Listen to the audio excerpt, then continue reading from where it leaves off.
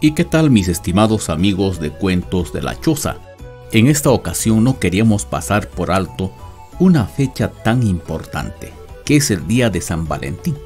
Acá en Perú, como seguramente en otros países, acostumbran celebrar el Día de San Valentín, que es el Día del Amor y la Amistad. En Perú está muy arraigado y las parejas suelen celebrar esta fecha románticamente. Y en Cuentos de la Choza también queremos tributarle un homenaje al Día del Amor y la Amistad. ¿Qué mejor con un poema? Aquí tenemos un poema muy conocido de Pablo Neruda, poeta chileno. Su título, Poema 20. Puedo escribir los versos más tristes esta noche. Quiero escribir, por ejemplo, la noche está estrellada y tiritan azules los astros a lo lejos. El viento de la noche gira en el cielo y canta.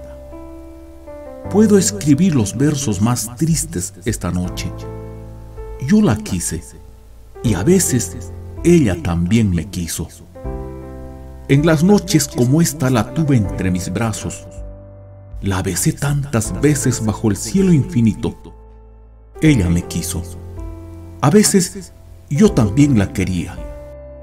¿Cómo no haber amado sus grandes ojos finos? Puedo escribir los versos más tristes esta noche. Pensar que no la tengo, sentir que la he perdido, oír la noche inmensa, más inmensa sin ella, y el verso cae al alma como el pasto al rocío. ¿Qué importa que mi amor no pudiera guardarla? La noche está estrellada y ella no está conmigo. Eso es todo. A lo lejos alguien canta. A lo lejos mi alma no se contenta con haberla perdido. Como para acercarla, mi mirada la busca, mi corazón la busca y ella no está conmigo la misma noche que hace blanquear los mismos árboles, nosotros, los de entonces, ya no somos los mismos. Ya no la quiero, es cierto, pero cuánto la quise.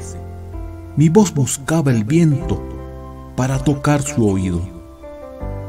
De otro, será de otro, como antes de mis besos. Su voz, su cuerpo claro, sus ojos infinitos. Ya no la quiero. Es cierto, pero tal vez la quiero todavía. Es tan corto el amor y es tan largo el olvido, porque en noches como esta la tuve entre mis brazos. Mi alma no se contenta con haberla perdido, aunque este sea el último dolor que ella me causa y estos sean los últimos versos que yo le escribo.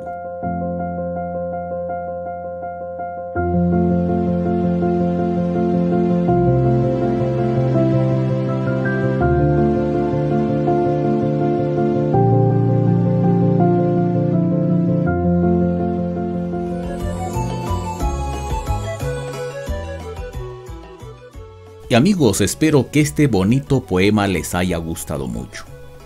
Pero si quieren escuchar más poemas de amor con motivo de la celebración del Día del Amor y la Amistad, nos pueden visitar en nuestro canal alternativo, en Cuentos de la Vida. Ahí les hemos dejado un ramillete de poemas por el Día del Amor y la Amistad. Y escuchen más poemas. Al pie del presente video les dejamos el enlace. Y amigos, gracias. Hasta la próxima. Dios me los bendiga y que tengan un bonito día del amor y la amistad. Y sean felices con la persona especial que los acompaña en esta vida. Saludos a todos. Chau.